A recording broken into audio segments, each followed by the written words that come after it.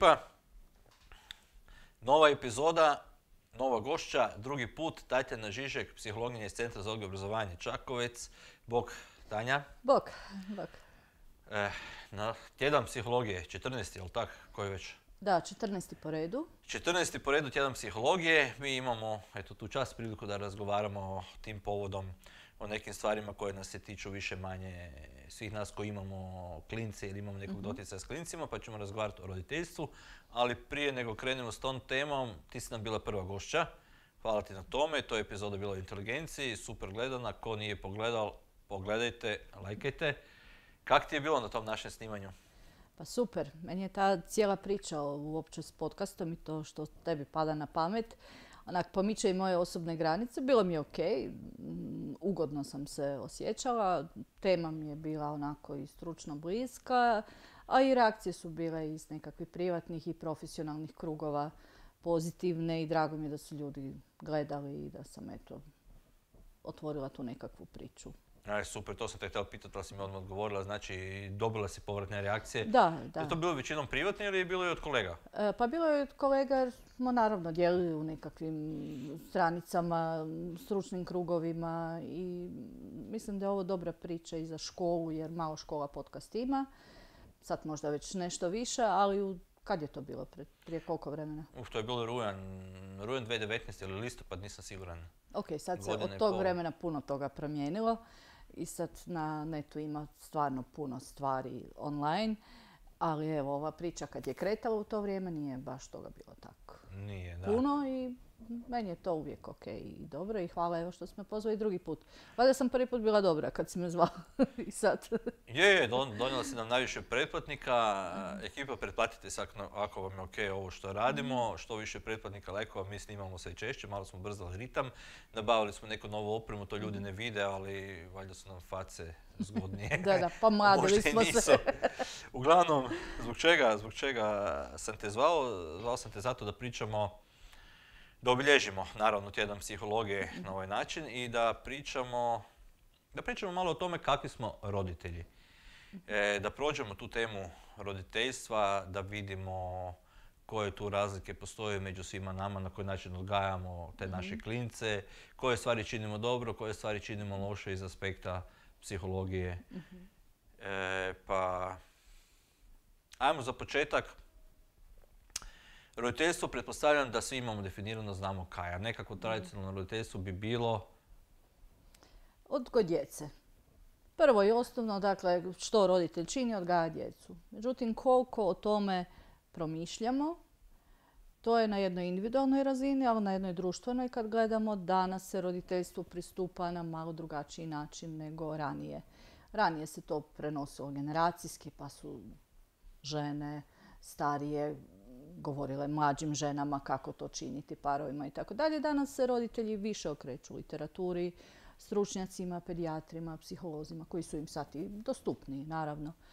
Ali to pitanje da li sam dobar roditelj, da li dobro odgajam svoje dijete, postavljaju si mnogi, ako ne prije, onda kad dođe do nekog problema s djetetom. Ne? A sve više su zapravo ljudi osvješteni i puno toga i promoviramo i govorimo kako biti što bolji roditelj, jer istraživanja, a i život svakodnevni nas u tome e, nam govori i pokazuje da se to jako odražava na cjelokupni razvoj djeteta. Da, naravno. Ajmo onda za početak, e, iz tog aspekta psihologinje, e, postoje nekakvi različiti tipovi roditeljstva, nekakvi različiti roditeljski stilovi. Koji bi to bili, kad ih grupiramo, koji bi to Kad stilovi su bili? to ljudi malo istraživanjima pogledali u čemu se zapravo mi kao roditelji razlikujemo, razlikujemo se na nekakve dvije dimenzije. Jedna je dimenzija emocionalnosti, koliko smo emocionalno topli, a, koliko smo spremni prihvaćati svoje dijete, slušati ga, voditi računa o njegovim emocijama, koliko smo brižni. Dakle, to je jedna dimenzija. A druga dimenzija je ona dimenzija kontrole, postavljanja zahtjeva prema djetetu i nekakvih očekivanja. I sad kad se to dvoje upari, ta emocionalnost i kontrola, onda su utvrđena nekakva najčešće četiri stila. A to su, A to su jedan strogi odgoj, autoritarni u literaturi, to je jedan dosljedan demokratski ili autoritativni, kako možemo naći u knjigama, popustljiv ili permisivan, jedan zanemarujući, indiferentan roditeljski stil. I sad kad to se malo pogleda, oni se razlikuju dakle po tome kakva je razina kontrole i emocionalnosti kod njih. Ajmo onda za početak proći kroz ta četiri stila, može, da vidimo koje su to razlike, pa spomenula si strogi ili mhm. autoritarni stil. Što karakterizira taj stil, kako se mhm. roditelji ponašaju, mhm. daj nam malo ispričaju i, i zapravo daj nam i nekakvu informaciju o tome na koji način taj stil utječe na dijete. E, strogi ili autoritarni stil, on podrazumijeva jednu strogoću, emocionalnu hladnoću i visoku kontrolu. Dakle, to je ono što najčešće čujemo e, kad roditelji kažu djeci radi zato što ti ja tako kažem. Jer oni ne objašnjavaju zašto neka pravila postavljaju. Njihov autoritet je neprikosnoven, neupitan. Samim time što postoje. Samim time što su roditelji. Mhm. Dakle, odnos s djetetom je odnos te nadređenosti i podređenosti. Pritom tu često bude popraćeno vikom, kažnjavanjem, prigovaranjem, kritiziranjem i uz ono neiskazivanje ljubavi i toga. On je vrlo često se zna e, vidjeti kod patriarhalnih obitelji. I ta nekakva negativna konotacija onih strogih patriarhalnih rekla bi sad već pomalo nekadašnjih, uključuje... A, čuj, tih hjerarhijskih struktura strogih ima još. Ok, ali recimo ajde u ovom nekakvom našem je to taj, ne znam, otac tiranin, majka pokorna, poslušna i djeca koja su tu jako samozatajna. Ali dakle, mi zapravo to u različitim oblicima vidimo i danas. Roditelji koji viču na svoje dijete, koji ga kažnjavaju, dakle kazna je taj način kako ga oni odgajaju i misle da treba. I naravno kad ti odrastaš u takvom nekakvom okruženju gdje ti se ne pokazuje ljubav, gdje si jako kontroliran i pritom kažnjavan, takva djeca su vrlo često mirna, povučena, tiha, jer rastu u mhm. tom nekakvom e, okruženju koje je emocionalno nabijeno nekim neugodnim emocijama. Međutim, kako rastu, tako u situacijama frustracije i kad nešto ne ide kako e, bi trebalo biti, postaju nasilni. Jer je to obrazac kojim su naučili kako se problemi rješavaju. I onda imaju problema u vrtiću, u školi, kasnije. E, o adolescenciji to kreće i prema delikvenciji i tome slično. Dakle, kreće od te nekakvog općeg odnosa, jer naravno da svaka od nas se formira količnost od najranije dobi, a prvo i primarno je naša obitelj. I sad kakvi su odnosi u tome, to jako utječe na to. I naravno da taj strogi autoritarni stil e, u nekakvom svom, svom negativnom aspektu jako utječe nepovoljno na, na dijete i na njegov razvoj. Da, znači tu zapravo nema ničeg pozitivnog. E, nema ničeg pozitivnog u toj krajnosti. Dakle, recimo pokazala su neka istraživanja kulturološki gledano, da recimo u sredinama koje su siromašne, pune kriminala, recimo afroamerikanci u nekakvim zajednicama koje su u tome, da to, taj jedan strogi odgoj, ali opet ne uz batinanje ili nešto takvo, ali stroge granice, ta e, velika čvrstoća može doprinijeti kao zaštitni mehanizam u smislu da dijete ne uđe u kriminal, u nekakve antisocijalne e, parametre i tako dalje. Ali, velim, u nekakvom okruženju koje uključuje nekakav normalan rast i razvoj, e, samo to danas više nije dovoljno reći zato što ja tako kažem. Nego treba zapravo i objašnjavati. Treba objašnjavati. Ajmo onda do drugog. Autoritativni ili ti ga demokratski nazvala si ga? Da, da. Ili dosljedan. E, to je ta priča koja zapravo e, podrazumijeva optimalan razvoj djeteta. Znači, tu sam, volim te, pokazujem ti to, objašnjavam ti ono što od tebe tražim. A tražim, postavljam ti granice jer djeca granice trebaju. E, trebaju da bi znala kakav je svijet koji ih okružuje, što je tu dobro za njih, koje su opasnosti, koje su prednosti, kako će se razvijati i svoje nekakve sposobnosti e, vidjeti što sve mogu ako to ne mogu oprobati.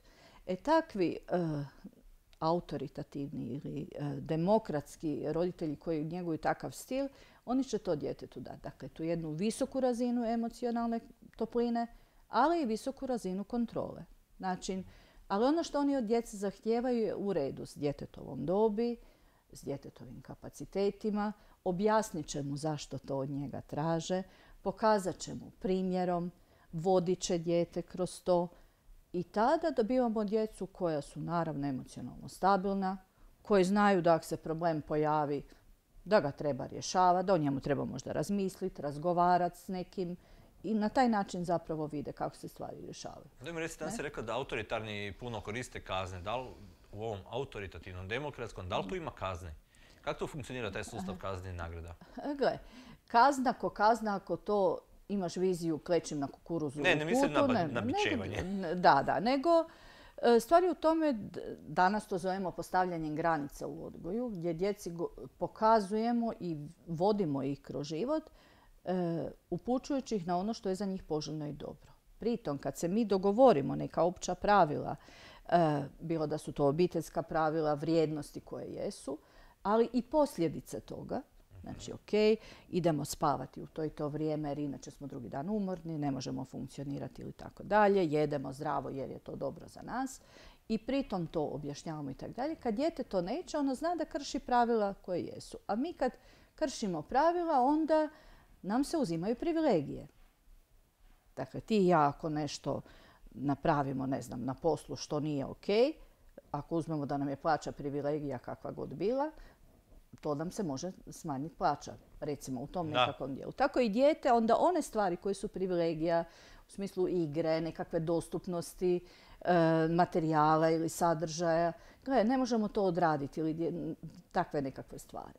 Da, daj, daj mi reci koliko je, tu, koliko je tu važno biti model, jer uopće moguće biti demokratski roditelj bez da ti vlastitim primjerom pokazuješ Ma naravno da ne. Gle, u neku priču gdje nisi autentičan, djeca vrlo brzo e, prepoznaju. Od lažnog usiljenog smijeha do nekakve glume i tako dalje. Ti svojim primjerom ono što pokazuješ, tako djetetu onda i e, puno manje puta moraš neke stvari ponoviti. Zato što ono to vidi u rutini, u nekakvim svakodnevnim situacijama. Znači, fejkerima nema mjesta.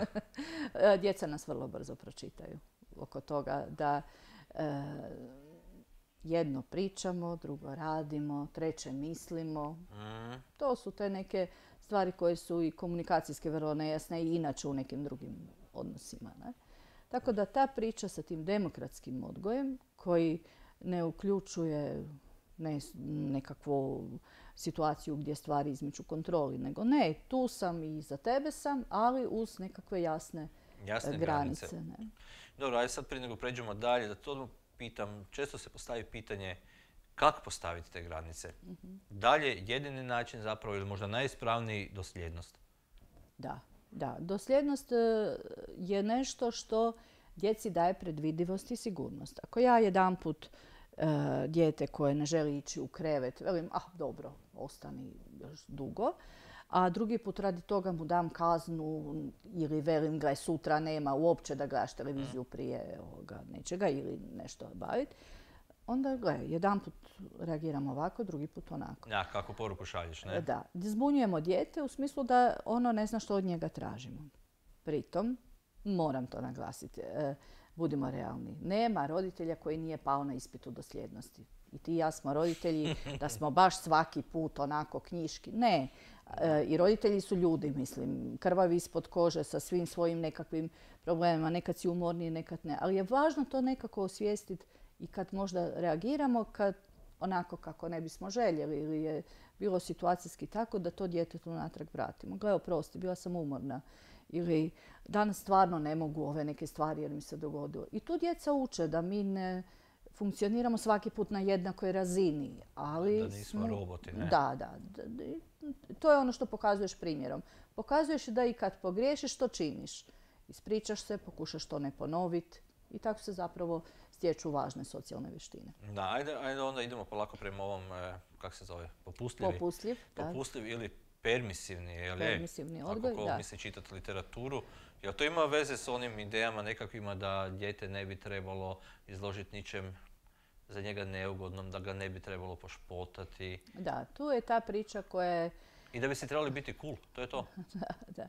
E, u tom, tom popustljivom odgoju tu zapravo mi često koji e, radimo u obrazovanju e, vidimo posljedice toga da se djeca teško u nekakvim institucijama, vrtićima, školama prilagođavaju vršnjacima, društvu, zahtjevima i. A priča zapravo ide u tome e, da su to roditelji koji imaju veliku, visoku razinu emocionalne topline. Oni vole svoju djecu, e, e, to im izražavaju, brižni su, međutim kontrola nikakva, zahtjeva nikakvih.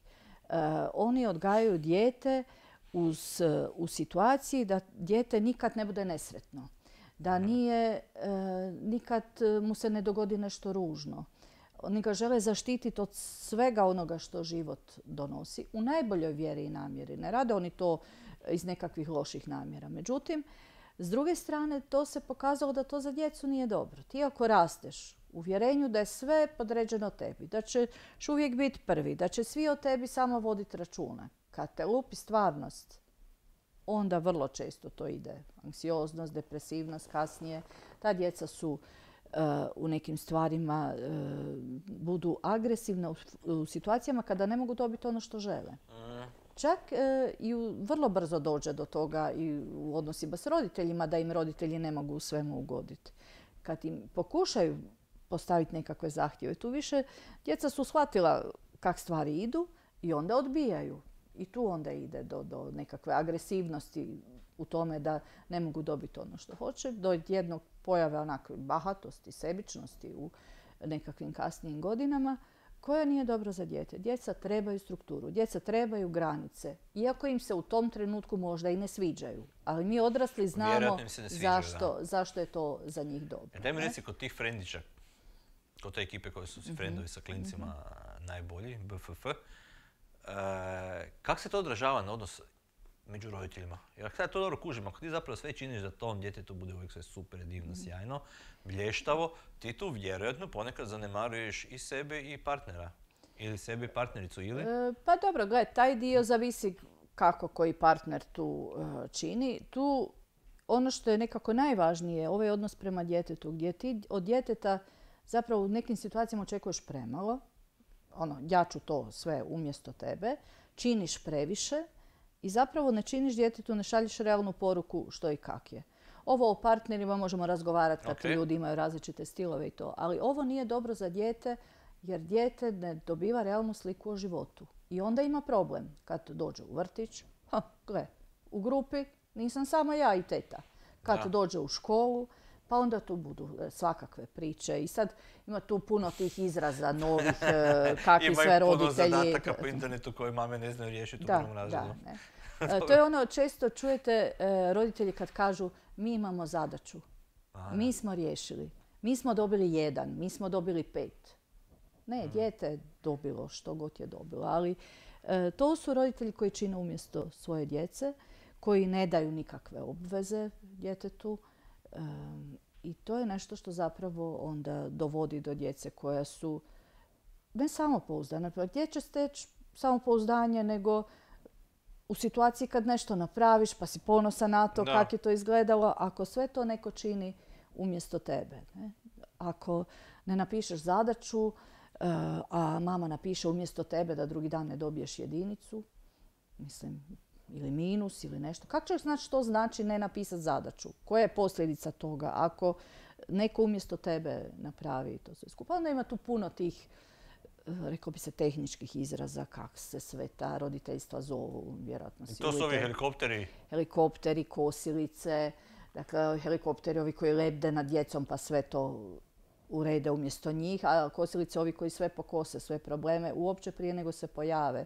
Pa mhm. onda tu ono što sam rekla zašto je tu taj dio nekako nama u obrazovanju težak, e, zato što ti roditelji znaju biti naporni suradnici, pa traže za svoje dijete dodatan angažman, dodatni tretman, poseban.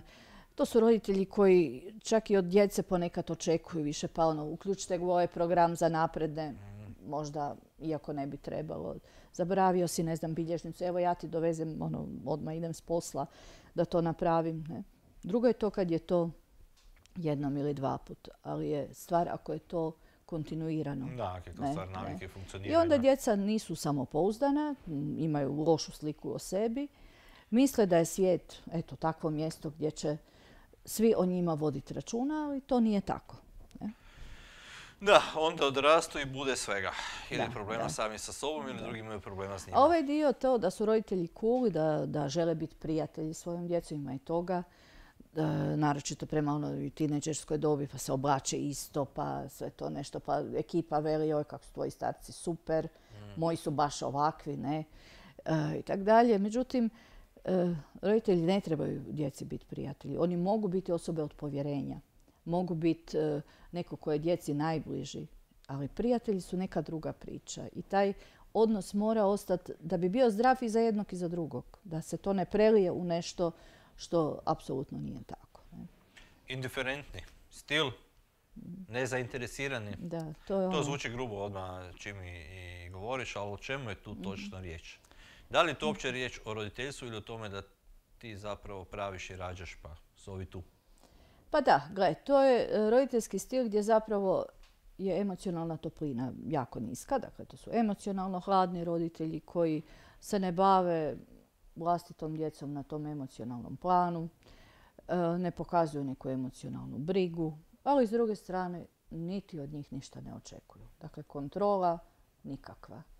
E, oni su zanemarujući čak u tom smislu jer ništa od djece. Oni su tu, s njima postoje, oni za dijete ne pitaju u smislu kak je bilo u školi, jel ti što treba i tako dalje. Kad počnu problemi, a djeca e, vide u okruženju kako im jesu da ne postoje za nekog drugog i onda privlače pažnju najčešće na nekakve, ajmo reći, nepoželjne načine. Kad počnu problemi, onda e, pa nekakav teret svaljuju na nekog drugog, dedu, baku koji brine učitelje u školi, vi se s tim bavite, vi ste za to krivi. Vrlo često u razvoju tu onda krene e, dosta nepovoljno po dijete, ne vide nekakve možda razvojna zaostajanja kod djeteta jer se s djecom niko ne bavi pa onda taj dio ovoga bude. I to je vrlo teško. Da, tu mi zvoni negdje u glavi, ne znam za kim mi se javlja asocijacija na Centar za socijalnu skrb, ali da li Da. možemo te stilove nekak kontekstualizirati u, u nekako ekonomsko okruženje, možda obrazovno? Da li su određeni stilovi vezani uz ne znam, financijsku situaciju, možda obrazovnu strukturu roditelja? Ima tu kakvih poveznica? Pa ima, naravno. Kad su e, malo gledali e, što utječe na to kakav ćeš stil roditelja imati. Niko sad baš ono, poslije kad dođe iz rađone pa razmišlja koja će od ova četiri izabrati, ko pedijatra kad biraš. Ali e, utječe nekoliko kategorija. Jedno je, su osobine mene kao roditelja, drugo je kontekst u kojem, sredina u kojoj se taj odgoj odvija i osobine djeteta. E sad, ako krenemo od ovog konteksta, znači tu može biti socioekonomski status i tako dalje, kad su malo gledali, dakle, ljudi koji su siromašni, koji žive u uvjetima siromaštva, koji mora brinuti o tome hoće li platiti račune, dakle, e, od čega će živjeti. Takvi roditelji, naravno da su zabrinuti, da je odnos među partnerima često puta e, više, ima više konflikata. E, Zabrinuti su depresivni, s vremenom onda možda skloni i alkoholu ili nekakvim drugim vrstama ovisnostima da bi se borili svim ovim. I manje polažu pažnju na odgoj djece u tom smislu. Komunikacija u takvim obiteljima je negativna, e, svedena možda na nekakvo e, vikanje, daj napravi to, a ne očekujući od djeteta. I tu se više vidi taj, ajmo reći, strogi stil ili možda zanemarujući. Gledamo. Kad su malo gledali što se događa u onim ultra bogatim obiteljima, dakle ne nekakav se, nego baš ono gdje se ima para, i kad su promatrali tu djecu koja rastu u takvim jako bogatim sredinama i oni u jako siromašnim. Nakon adolescentske dobi e, se vidi da jednako su anksiozni i depresivni jedni i drugi. Jer ovi jako bogati također imaju vrlo često taj zanemarujući stil. Emocionalno su hladni i nisu prisutni. Ali pritom znaju imati visoka očekivanja od djece. Gle, pa sve sam ti dao, očekujemo od tebe da si to i to.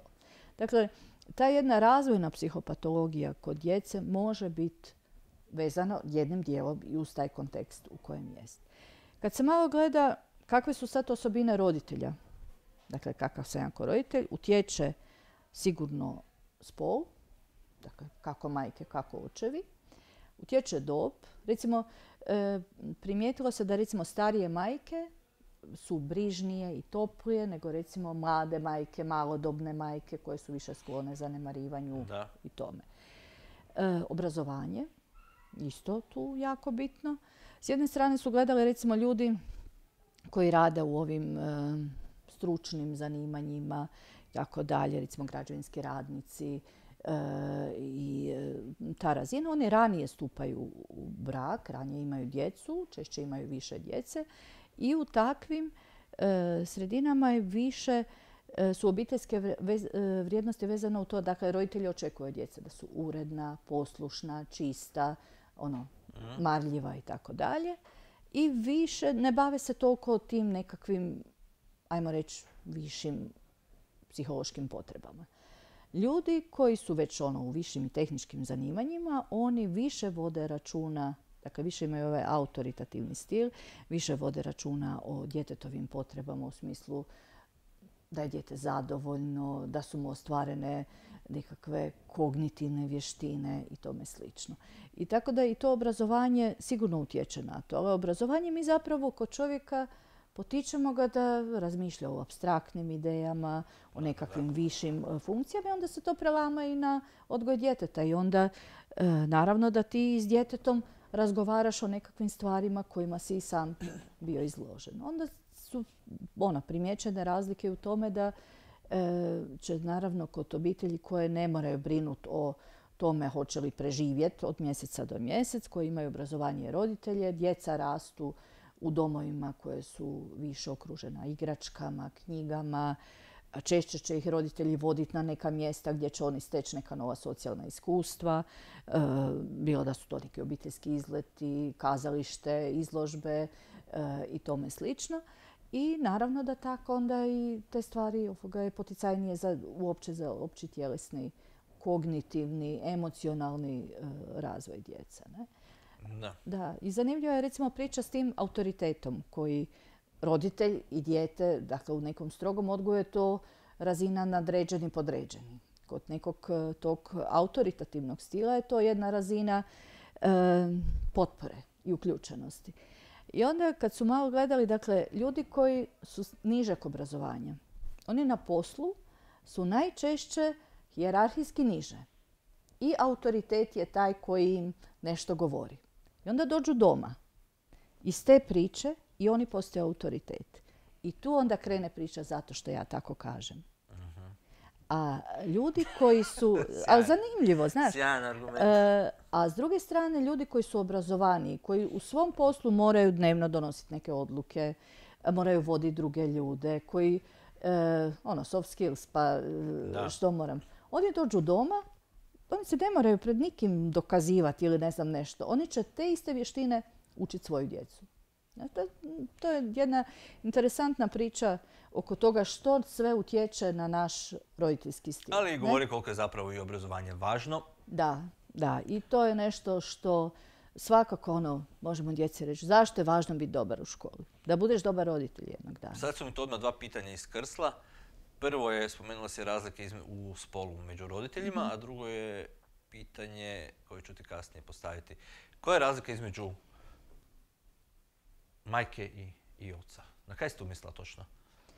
E, pa svakakve su razlike. Prvo biološke, koje ne smijemo zanemariti. I koje su jako važne za, za razvoj djeteta. Dakle, e, različitost majke i oca je za dijete super stvar. Na način, e, naravno da je s majkom dijete prvo u fizičkoj vezi od samog početka duže. Međutim, I uloga oca znamo da se mijenjala. Ranije je bilo važno da je on veliki hranitelj obitelji, da je tu sve posloženo, da on donese, reklo bi se, kruha na stol, mama će tu brinuti o djetetu i tako dalje.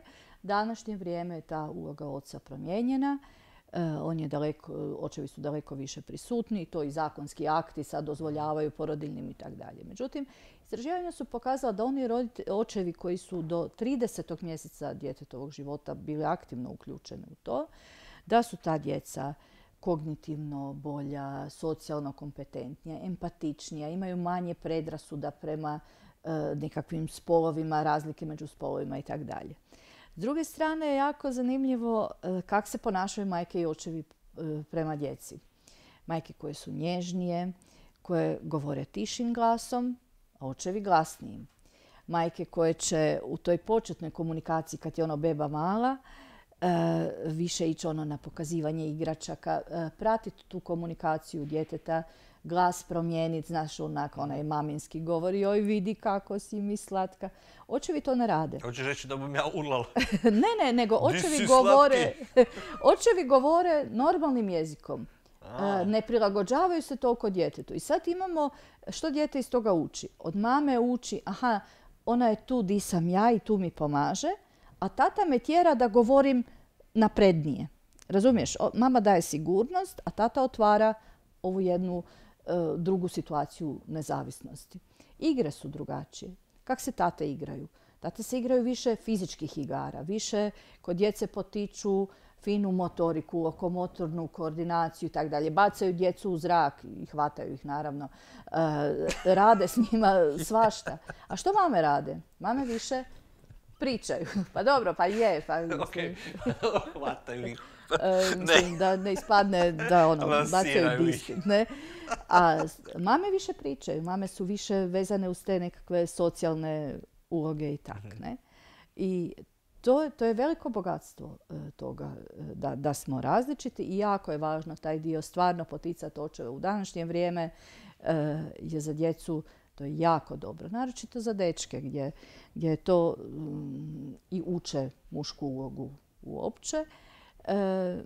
I to je nešto što je stvarno, stvarno super. Pokazalo se jako dobrim za cjelokupni razvoj djece, a s druge strane pokazalo se jako dobrim za cjelokupno funkcioniranje obitelji. Dakle, ta partnerska podjela roditeljstva, e, žene koje imaju više vremena za sebe, koje su samim tim manja je mogućnost majčine depresije ako nisu sve obaveze roditeljske na njoj. I e, cijela dinamika u obitelji je onda drugačija. Partnerski odnos koji je bolji, koji je sigurno se pokazao u mnogo slučajeva e, presudan također za, za dobro djetetovo zdravlje. Da, znaš, kad sad čitam baš ovu novu Rostoharovu knjigu o ljubavi. Jo, to mi je super.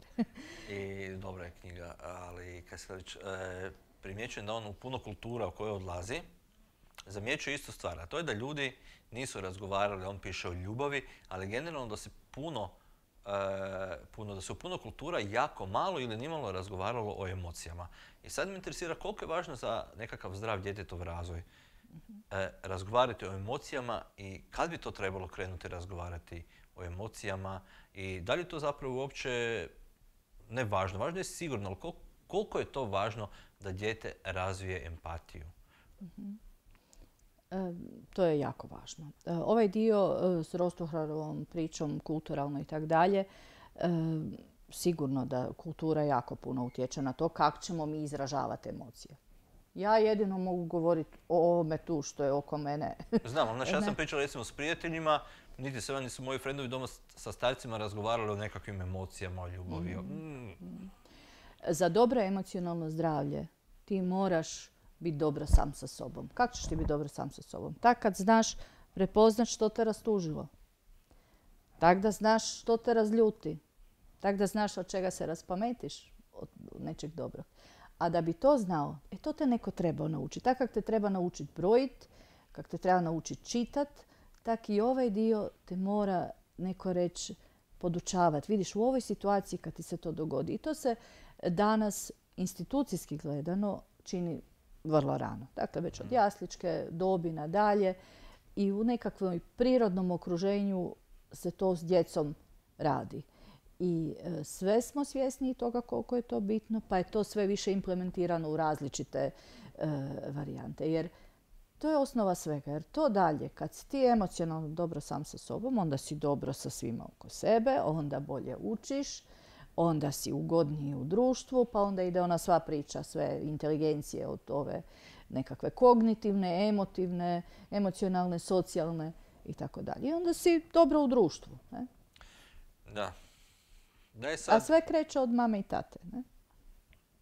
I kako će oni pokazati te emocije, koliko će oni o njima pričat, koliko će kontrolirati vlastite emocije, tako ćemo učiti djecu u svemu tome. Znaš, piše još jednu interesantnu stvar kako većina ljudi, dobro sad govorim o primjeru ljubavi, ali da se preslikat možda zapravo, kako većina ljudi te svoje roditelje koristi ili kao model koji oponaša ili kao model koji želi izbjeći. Da, da, Znaš, istina. ali, da je sad da probamo nekak zaokružiti ta četiri stila roditeljstva, Mhm. jer pretpostavljam da je teško vjerojatno biti stalno u nekakvom jednom stilu. Jel tako? To vjerojatno postoji nekakva Priča fluktuacija. je gdje ono što ti je dominantno. Dakle, ono što najčešće stil roditeljstva je dakle e, skup ponašanja koje roditelj koristi u odgoju djeteta. Ajmo uzeti nekakav primjer, ali možeš opisati nekakvu idiličnu situaciju, dobru situaciju koja je e, vrlo poticajna za djetetov i emocionalni razvoj, i socijalni, i kognitivni, i motorički. Kako bi trebalo izgledati recimo tjedan života nekakvog djeteta, knjiški, udžbenički? Dakle, to je dijete koje raste s roditeljima koji su u dobrom partnerskom odnosu. Dakle, koje ne gleda mamu i tatu koji se svađaju, vrijeđaju, ponižavaju, nego koji su dobri pre, jedan prema drugom, ljubazni, koji naprave nešto jedan drugome, koji su vedra izraza lica, dakle ta jedna opuštenja, koji se e, razvesele djetetu kad ga vide. E, roditeljstvo bi trebalo biti, mislim, imamo djecu zato što ih valjda želimo, e, zato što ih volimo, valjda bi to tak radna trebalo snaga. biti. Ne? I tom djetetu, i vrlo često mi kažemo da smo za djecu spremni sve učiniti. Da. E, I to verbaliziramo često. A u izvedbi kad treba, e onda je to tako. Dakle, dijete koje raste u jednom pozitivnom e, emocionalnom ozračju, koje u nekakvim problemima ili stvarima koje bude se dogovorom rješava. Koje e, dijete pred koje se stavljaju zadaci koje ono može napraviti. Uključivanje u kućanske obaveze i tako. Dijete koje se uključuje u donošenje nekih obiteljskih odluka. Onoliko koliko može A može. A može već vrlo rano Da. oko nekih stvari što i kako. E, Ono se osjeća uključenim u život te obitelji, ono iz toga uči kako se nositi s emocionalnošću i tako dalje. Recimo, e, razmišljam sad o jednom primjeru kako se to može prelamati kroz različite stilove, kako to izgleda. E, Vrlo često roditelji imaju problema kako dijete izvršava školske obveze. I sad uzmemo primjer, dijete, treći razred osnovne i baš mu se ne da pisati te zadaće, ne idemo baš u školu i tako dalje. Što čine roditelji sa različitim stilovima roditeljstva? Znači ovaj strogi, veli, ma kak to ne znaš, baš si bedast, nesposoban, idi, nauči to, Briši, napravi, bok, doviđenja. Moraš to napraviti. Pritom, ak ne napraviš, dobiš pljusku, nešto što k tome ide. Jedan autoritativan, dakle, dosljedan roditelj, što će on napraviti? Što će on reći tom djetetu? Kako će tome pristupiti? Prvo će pitati dijete u čemu je problem. Gle, vidim da u zadnje vrijeme ili ne znam nešto, ti u školi baš ne ide. Što se događa? Kako se osjećaš? Jel ti mogu ja kak pomoć? Ne na način da činim umjesto tebe, nego u čemu je problem? Dakle, s djetetom razgovarati, znači recimo treći, osnovne tu još možeš, nisu ta djeca zatvorena u tome. Znaš, meni pomaže kad moram napraviti neke stvari koje mi se baš ne da, da se poslije toga zguštam nešto što volim. Jel bi ti, ne znam, kad napraviš zadaću pa, ne znam, onda pročitao ili odigrao igru ili nešto. Pomaže dnevni raspored koji se s djetetom dogovori. Ok, gle, ujutro si u školi, dođeš doma, naručaš se, malo se odmoriš, onda napraviš zadaću za školu što treba, ostatak vremena nam ostane bilo za igru s prijateljima ili sad već što god u ovim korona vremenima što se čini. I toga se drža. Gle, ajmo se to dogovoriti da to probaš tak raditi. Jer ako to nećeš raditi, onda ćeš dugo biti za tom zadaćom. Neće ti ostati vremena za ovu nekakvu drugu priču. Ajmo probati tak, pa da vidimo. Dakle, e, ne odrežemo odmah i velimo to mora biti tak i tak dalje. Što će napraviti popustljiv roditelj? Napisati zadaću. Napisati zadaću, reći kak je ova ako zna, učiteljica ako nije preteška. e, zločesta i stroga i puno zadaće vam zadaje. Za treći razred ja mislim da je to previše. A ovaj kurikulum, ne znam, za ovo, pa mislim sad oni traže tu od te jadne djece svašta nešto. Da, ako je preteško, pa daj, pa onda dijete, ne znam, to dugo ništa, pa napiše umjesto njega. A ovaj zanemarujući, Taj Koja ne, zadaća? taj ne zna da ima zadaću. Koji ti ono razred ideš, ne? Da, da. Mislim, ta, Ko ti, je učiteljica? Malo, malo banaliziram, ali ne, on će kad dođe do problema i eventualno kad ga pozovu u školu, da možda dijete ne funkcionira ili nešto, reći to je vaš posao. Vi ste učitelji, vi to napravite, zapravo umanjiti svoju ulogu u tome kako je. Ne? Da. Ima li kod roditeljstva razlike u tome da li imaš dječaka ili djevojčicu? Ko- Mislim, naravno da ima. Koje su razlike u odgoju dječaka i djevojčice? Ne moramo duboko ići, ali, Ali e, generalno, generalno gledano da, mi se djevojčicama e, više verbalno obraćamo, više s njima e, razgovaramo, pa onda time jačamo njihov verbalni faktor. S druge strane, e, dječacima se više na ovaj motorički, fizički dio e, okrećemo, pa je onda to tako. U emocionalnosti tu i izreke govore, muško ne plače, osim kad mu, ne znam, izgubi omiljeni nogometni klub. Ja, to je tak debilno, znaš, Da. ono kad pobjedi, onda je bila muška igra. Mislim, E, ali, ali te stvari se mijenjaju. Znaš, sporo, e, upravo iz razloga što se vidjelo da taj odgoj dječaka e, zapravo kasnije stvara muškarce koji, koji nisu dobro sami sa sobom jer su jako stisnuti u emocijama, koji ih ne znaju izraziti na primjeren način. u primjerenim... Da, da, da. I to je neka priča koja je, velim, jako dobra da se mijenja.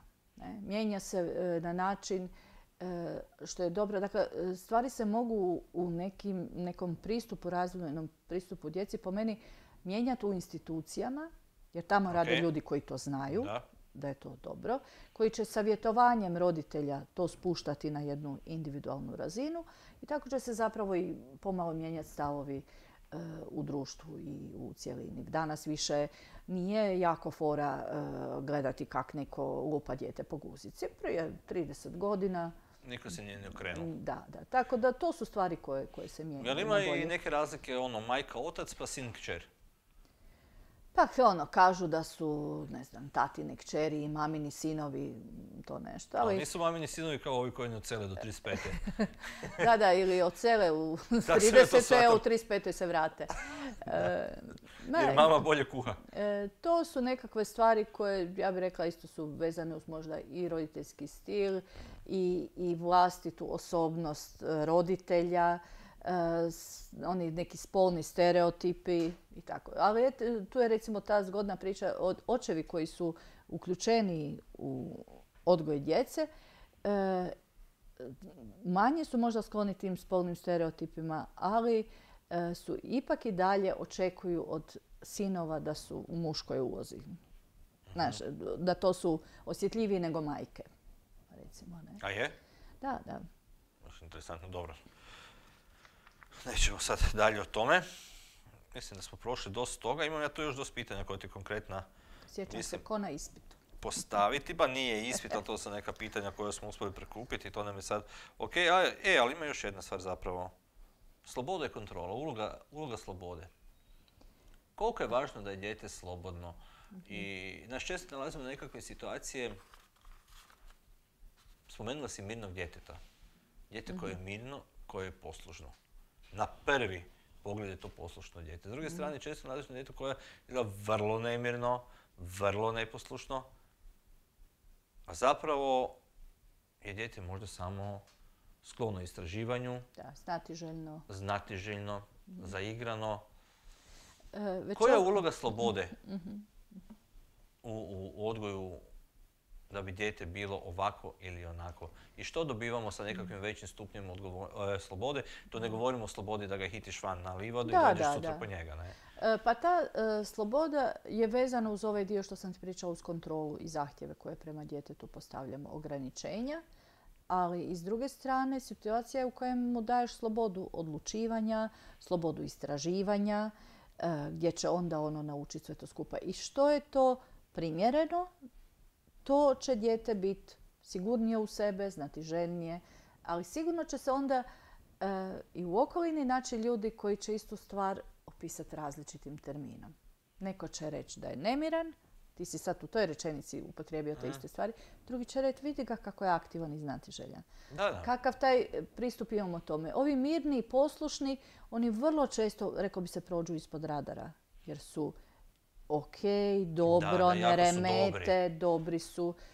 Tu vrlo često bude dosta anksiozne i depresivne djece koja nisu prepoznate jer nisu ni na koji način pokazala da, da nešto nije u redu. Ovo ne? ne meni sam jako nisu Da. to nekakav stereotip. Djetetu treba dati slobodu, da pače, kad, kad će ono vidjeti što sve može ili ne može. To je onaj dio tipa joj nemoj se penjat, ne znam, ne idi na ljuljačku, ne idi na tobogan. Idi, ali ja sam blizu... I nipošto na propuh. Da, da, propuh je ono hrvatska bolest, ne, koje nigdje drugdje nema.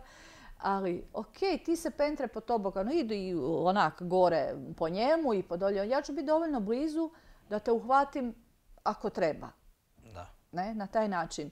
E, ne mu za sve govoriti nemoj ovo ili nemoj ono, ili ja ću umjesto tebe da pače, a opet u situacijama gdje, ne znam, hoće se igrati strujom ili kad je malo vatrom, gdje tu nema dogovora, gle, ovo je opasno, ja sam mama i ja znam da je za to za tebe dobro, tako dugo dok ne narasteš pa onda možeš sam. Nekim stvarima treba odrezati, ali u nekima da pače da djetetu priliku da, da se ostvari i da, da bude. To je malo problem i sustava i institucija u kojima jesmo, koliko smo tu mi spremni tu dječju slobodu poticat, nekakvu Premalo. neovisnost. Ali, velim, s druge strane e, se u onom sad gledano kroz društveni aspekt odgoja e, i tu se malo znalo zabrazditi. Prvo smo imali jako veliku kontrolu u nekom patrijarhalnom odgoju gdje su djeca sjedila u kutu, odrasli za stolom i nema tu da se miješa. Onda je došlo ono dijete u centru, dijete ne znam što. Malte ne zasjenilo sunce u cijeloj toj priči i gdje se pokazalo da taj jako liberalni odgoj na kraju ono, došli ljudi koji ne znaju uopće živjeti s drugima, koliko su okrenuti prema sebi, koliko su e, neprilagođeni toj cijeloj priči i treba stvari vratiti u neku optimalnu sredinu. Da, tu si ko pojedinac istražuješ, vidiš e, i tu smo, velike su intraindividualne razlike, e, kakvi sve jesmo i to je super. Jer da smo svi isti, ne bi bilo puno toga što je ljudski rod izumio i smislio. Je. Idemo na pitanja, može? Ajde. Idemo na naša pitanja, a vi like i pretplatu, da mi snimamo još više ovakvih emisija. E, ovak, e, postoje li bilo kakve istraživanje, postoji li neka literatura e, u kojoj se objašnjava ili govori o tome jesu li roditelji uopće svjesni vlastitog stila? Ne govorim to o nekakvim obrazovanim roditeljima koji čitaju tu literaturu, ljudima koji rade po školama, pa hoćeš nećeš znaju te stvari. Međutim, generalno, E, je Na jednoj generalnoj razini, dakle ovo što veliš, ovo je već ipak e, jedan selekcionirani dio populacije koji je na to usmjeren. E, Ljudi se roditeljstvom intenzivnije bave kad se jave problemi. Dakle, kad je sve ok, beba se rodi, beba zdrava, pa to sve skupa nekako ide, onda se mi kao roditelji osjećamo kompetentni. I dobro nam je. To je malo vezano i uz ono što sam rekla da roditeljski stil ovisi o osobinama djeteta. Temperament je jedno od odrednica koje to jako veliko, u velike utječe. a Ok, sad ja kliknem na temperament i temperament je... Temperament je kako mi emocionalno doživljavamo svijet oko sebe i koliko smo tu e, osjetljivi. Čak na jednoj neurološkoj razini. Dakle, koliko moj e, živčani sustav je osjetljiv na neke podražaje iz okoline. Pa onda nekome treba duže da se smiri, neko će duže plakat, neko će se, kad vidi mamu, e, brže umiriti i tako dalje. Dakle, to- po tome smo različiti. I sad kad imate dijete koje je lako odgojivo, lakog temperamenta, koje ono, kad ga uzmeš, smiriš ga, super, to sve ovoga ide i naravno da se ti kao roditelj osjećaš dobro. Kad imaš dijete koje teško umiriš, koje neće spavat, koje neće jest, koje ništa neće, a u knjigama piše da bi sve trebalo, tu naravno da se počneš preispitivati kao roditelj. Dakle, i u nekakvim tim situacijama kada stvari krenu lošije, onda ljudi znaju pričat naravno i nekako obično imamo prijatelje s djecom slične dobi pa razmjenjuju ljudi ta roditeljska iskustva pa je tu proširena obitelj koji daju nekakve svoje savjete. Ali eto, danas u ovo vrijeme kada je informacija lako dostupna, ljudi i googlaju. različite stvari Ok, vide. ali izgooglaju svašta. E, Znaš ti kakve sad- sam ja sve bullshita čulo o roditeljstvu od ljudi koji su googlali? To je, to je ono što je zapravo nedostatak ovog globalnog pristupa informacijama, da dobiješ svašta. Ali e, ja, ono, ko vječni optimist sam za to da u tom ovom možeš probrat. Ne moraš ići Možeš, ali to je i taj problem, znaš, ove stvari koje su lako čitljive, na prvu dostupne, za koju ti ne Mhm. treba nekakvo preveliko intelektualno naprezanje, da tu zaista ima svačega. Da, da. Znaš, za nekakav ozbiljniji tekst ti trebaš uroniti u njega i čitati ga. Da. I... E, zato su ove nekakve priče i ovo što smo krenuli sa tjednom psihologije, dakle sad već 14. put po redu, e, gdje su zapravo psiholozi htjeli pokazati u svakodnevnoj zajednici što sve psihologijska struka, u čemu ti sve može pomoći i tako dalje. Tako da evo u ovom tjednu od 15. do 21. e, veljače e, se organizira čitav niz predavanja, okruglih stolova, rasprava. Sad je to više manje u virtualnom okruženju gdje ljudi mogu dakle, od struke čut na jedan popularan način sve te probleme koji jesu. Ove godine su to stvari više usmjerene, pa i slogan čuvajmo mentalno zdravlje zbog okolnosti u kojima živimo, pandemije, bolesti COVID-19, stradanja stanovništva u potresima. Dakle, sad je to puno toga usmjereno kafane, na to. Da, da, i sve skupa, gubitak posla, E, posla. I to je sad ono gdje smo prvo jako mislili o tjelesnom, a sad je konačno došlo do toga da je ovo mentalno jako, jako važno. E, Tako da tim roditeljstvom se ljudi bave kad, kad dođe do problema. Ovo e, ostalo kad je sve ok, zapravo i što, što ćeš se baviti s tim ako sve ide kak treba, ako se ja osjećam dobro kao roditelj, moja djeca na to dobro reagiraju i to je to. Da. Dobro, je li roditeljstvo posao? Ja bih rekla da je roditeljstvo dobro da je izbor. Dakle, da se ne dogodi. Na način da onda iz toga izvučemo e, najbolje. E, i, I više poziv nego posao. E, to je nešto što nije da možeš ostaviti sa strane. Iako je dobro ponekad uzeti pauzu za sebe kao roditelj. To nekako bi voljela istaći da su roditelji ljudi koji imaju različite uloge životne, ne samo tu jednu. Nije zdravo niti za roditelje da samo o sebi razmišljaju kao o mami ili kao o tati, jer to isto dovodi do nekakvog nezdravog e, razvoja osobnosti. Ja sam i mama, i psihologinja, i žena, i partnerica, i prijateljica, dakle puno toga. I sve od toga me e, čini ono što sam ja i čini me sretnom.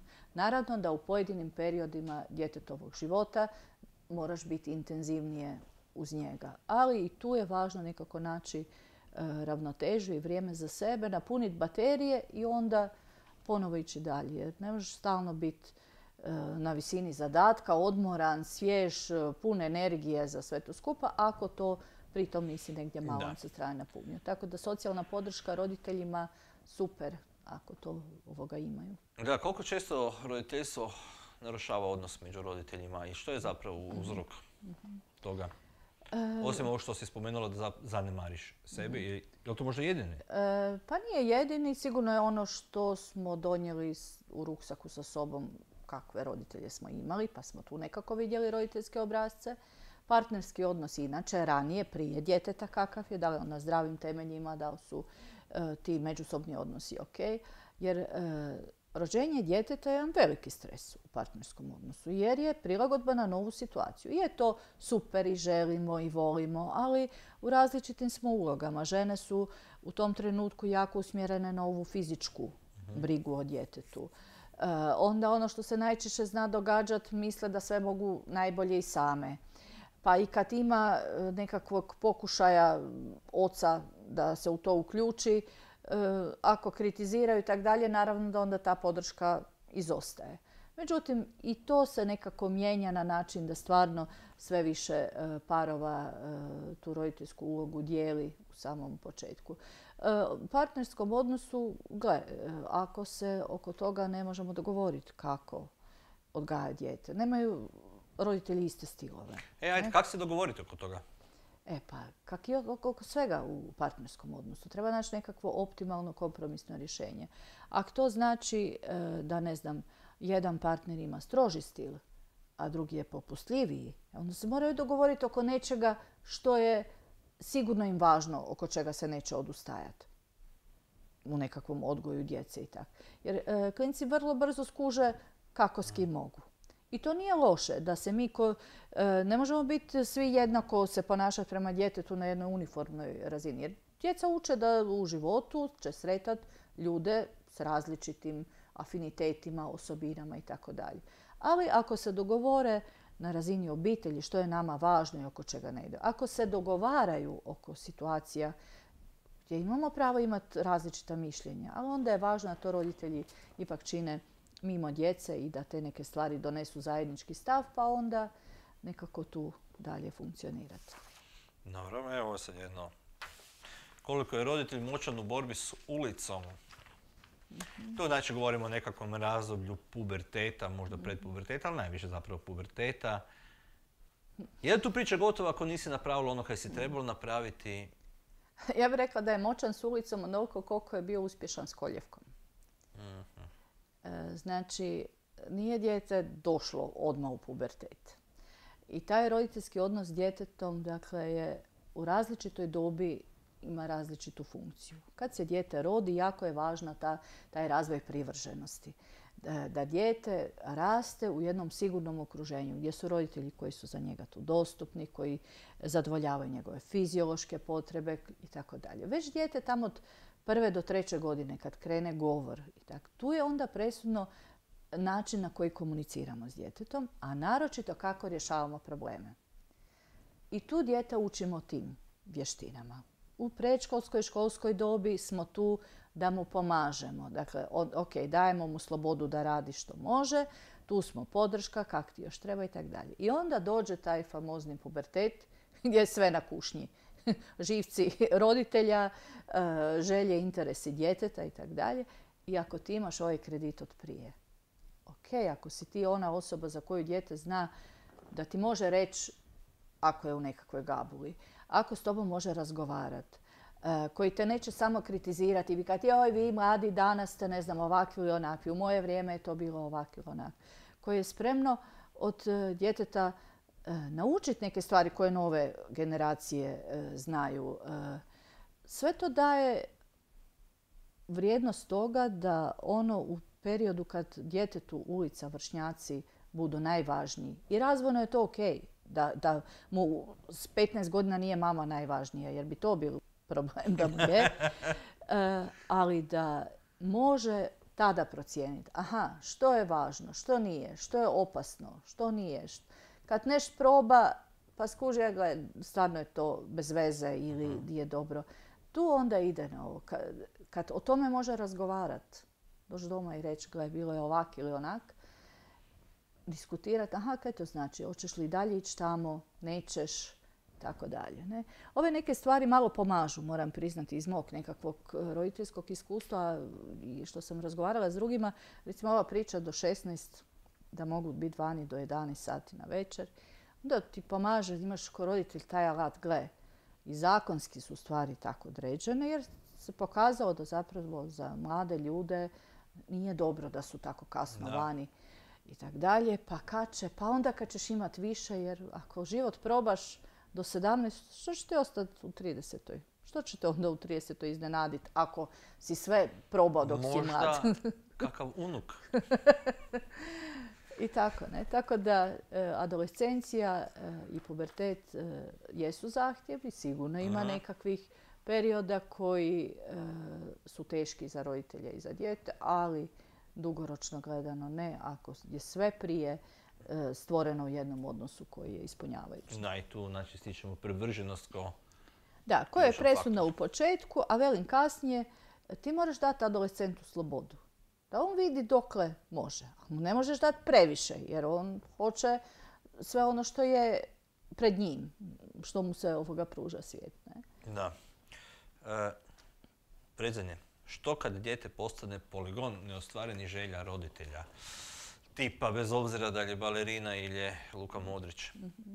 Ili... Da, to, to je nešto što je sigurno e, za dijete vrlo teško za, za odrastanje. Bude prisutno kod dakle roditeljskih stilova koji imaju visoku kontrolu, pa onda određuju koju školu ćeš upisati, ono, faksa, medicina ili nešto tome ovoga slično. E, iako nije usklađeno s djetetovim interesima i dijete koje raste stalno, znaš, u onom strahu, hoće li biti dovoljno dobro za vlastitog roditelja, hoće li ispuniti njegova očekivanja, kakve će biti reakcije. Ne? E, a to su reakcije na svakodnevnoj razini, ono, mogla si i bolje, e, zašto četiri, a ne pet, e, zašto ovo ili ne ono. Dakle, stalno kritiziranje i to možda nekakvo realiziranje, čak i možda roditeljski neostvarenih snova. to? Ja nisam, ali ti ćeš zato. Dakle, treba dijete gledati kao individu za sebe E, voljeti ga takvo kako je, prihvatiti ga takvo kako je. Ja mislim da je to najveće umjeće roditeljstva. Ne to da mi volimo i prihvaćamo djecu kakvu smo si željeli. I onda ako takve imamo da su zdravi, pametni, dobri, super, zgodni, ono, odlično. Ali e, ti dijete moraš prihvatiti tvoje dijete kakvo je. Ako je ono možda sramežljivije, a ti nisi, ako je ona možda otvorenija, a ti si zatvoreniji, moraš naći ko roditelj taj balans kako ćete se u tom vidjeti. I mislim da je tu važno da eh, roditelji shvate taj dio da su oni odrasli, da oni imaju ipak tu poziciju, hierarhijski poziciju moći kojom definiraju odnos. Jer su djeca u razvoju, oni još te socijalne vještine nemaju. I mi ko roditelji nemamo pravo odustati od svoje djece ili reći joj kako mi to može reći. Pa možete reći zato što u toj dobi ne zna drugačije ili ne zna se izraziti drugačije. Njegova emocionalna kontrola djetetova je, je po defaultu manja nego bi trebala biti kod odraslih ljudi. Da. A mi često puta od djeca očekujemo da se oni bolje kontroliraju od nas samih. Ne? Da. Dobro, ajmo sad za, za kraj. Mislim da smo pokrili zaista širok spektar nekakvog mm. roditeljstva. Mogli bi mi to o mnogo čemu još puno dublje, ali mislim da nema potrebe. Ovo je zaista puno i kvalitetno, pa koga zanima nek dalje čita ili nek nas gleda idući put. Ali roditeljstvo djece s teškoćama. Mm. Koji su tu izazovi, koje su tu stvari drugčije, a vjerujem da jesu? Jesu, naravno. Dakle, sve ovo što smo pričali, e, nekako za djecu tipičnog razvoja, vidimo da ima različitih e, izazova i tako dalje. Kod roditeljstva djece s razvojnim teškoćama, njihovo roditeljstvo je specifično i još pod većim. Puno je više stresa, jer je puno više nepredvidivosti u tom nekakvom razvoju, kako će stvari ići dalje s djetetom. Financijski je to puno e, zahtjevnije, te usluge koštaju. E, s druge strane, partnerski odnosi su dodatno opterećeni nekakvim načinom kako se s time nositi, na kojoj razini prihvatiti, kako se nositi možda s osjećajem krivnje koji se javi, koje je zato, je tome doprinio više ili manje. E, to je jedna svakodnevica koja je drugačija, e, koja mora biti podređena ovom najranjivijem članu obitelji. E, tu su druga djeca braća i sestre koje, treba ovoga dati. Dakle, sigurno je roditeljstvo djece s razvojnim teškoćama puno stresnije i puno uh, opterećenije time. Uh, rad, uh, rad s djetetom, zapravo razvoj djeteta s razvojnim teškoćama je najbolji kad se odvija u svakodnevnoj situaciji, u obiteljskom okruženju. Stručnjaci su ti, to i rana intervencija radi, a i kasnije kad mi radimo s djecom, roditeljima govorimo kako u nekakvom roditeljskom domu činiti. U ovoj ranoj dobi je to jako važno da te rutine koje roditelj radi s djetetom budu tu. On mora biti puno osjetljiviji na djetetove reakcije da bi ih znao iščitati, da bi da njih znao uzajamno reagirati, da bi znao puno puta ponoviti neku stvar da bi to do djeteta došlo. E, konzultirati se sa stručnjacima, tražiti nove usluge, aha, što bi još mogao, dakle, nositi se pritom emocionalno sam sa sobom da bi bio dobar kapacitet djetetu, tako da e, svakako e, je to roditeljstvo koje dodatno predstavlja puno, puno izazova i zato rad stručnjaka s roditeljima treba biti upravo kroz tu prizmu. Gledat kroz što sve oni prolaze, gledati u jedan širi kontekst u kojem se odgoj i razvoj te djece odvija. Mi često puta imamo nekakve ideje što i kako bi s djetetom trebalo napraviti, ali treba roditelja slušati, vidjeti na koji način i kojim tempom on to može prihvatiti, biti tu uz njega i nekako zajedno e, prolaziti kroz to. E, mi ponekad imamo ideje da to može biti puno brže, roditelj je zapravo to proces kojim on prolazi i ide onim tempom koji, koji, koji može trenutno i u tome smo različiti. Dobro, ti tu spominješ sad stručnjaka, to su uglavnom stručnjaci koji se bave djecom. Imaju li roditelji neku podršku? Postoji li uopće podrška roditeljima, psihološka, kako god? Ne samo e, nužno e, roditeljima djece s teškoćama u razvoju, nego roditeljima generalno. Znaš, zapniš negdje. E, pa ima, ima. Dakle, ima od institucijskih dijela, dakle, vrlo često vrtići, škole imaju savjetovalište, imaju stručne suradnike kojima roditelji se mogu obratiti u tim nekakvim stvarima. Ne moraju to nužno biti psiholozi. Dakle, tu su i pedagozi, socijalni pedagozi, edukacijski rehabilitatori, logopedi, dakle već u različitom području koje je. E, tu su savjetovališta za roditelje i pri centrima za socijalnu skrb, ali i pri obiteljskim centrima koji možda nemaju tu toliko e, negativnu konotaciju kao centra za socijalnu skrb kam već dođeš ako su nekakve tegobe. Obiteljski centar radi puno dobrih i preventivnih e, i predavanja i akcija i roditelji se mogu obratiti tamo. Različite udruge koje roditelji osnivaju E, osnivaju zato što možda u tom ovom što, svemu što sam rekla što je bilo ponuđeno nisu dobili dovoljno. I onda su oni uprli vlastite snage, osnovali roditeljske udruge gdje su jedni drugima prenosili iskustva na način što sve treba napraviti, što ne propustiti, recimo ako govorimo o djeci s razvojnim teškoćama, ali inače roditelji se u različite e, načine i oblike civilnog društva udružuju upravo iz nekakvih zajedničkih interesa. I to je dobro. Na način, tu onda oni konzultiraju struku vrlo često, angažiraju nekog, imaju savjetovališta za, za sebe i tako dalje. Naravno da je to u većim sredinama toga ima više, u manjim sredinama manje, ali meni se čini da u ovom našem kraju, sjeverozapadnom, je to dosta dobro, e, dobro razvijeno i ljudi su dosta osvješteni na tu temu. Da, ništa, došli smo do kraja. Da razmišljam kaj sad zapravo za kraj reći, ali nemam ništa pametno za reći, osim pozdraviti sve roditelje, pozdraviti ljude koji nas gledaju, pozvati još jedan da se pretplate. Imaš ti kaj za kraj?